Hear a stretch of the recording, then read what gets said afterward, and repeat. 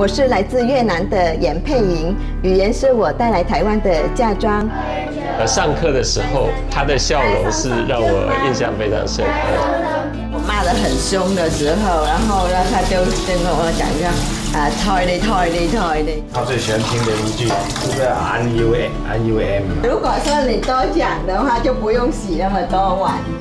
在台湾站起，每周四晚间八点，给您更多新移民的故事。